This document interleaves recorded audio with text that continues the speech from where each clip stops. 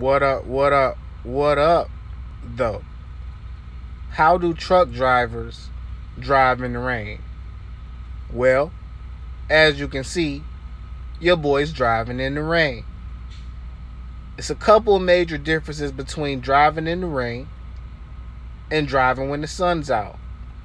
One of the main things you need to remember is if people drive fool as hell, I'm talking about four wheelers, like that dude right there that just shot past.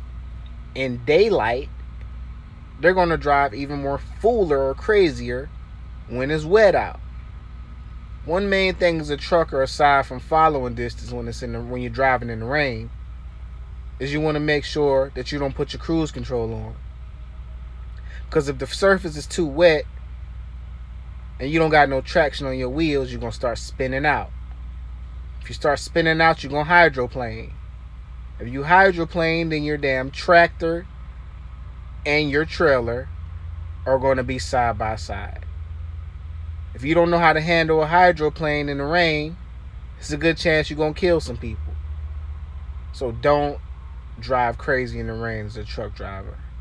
Word.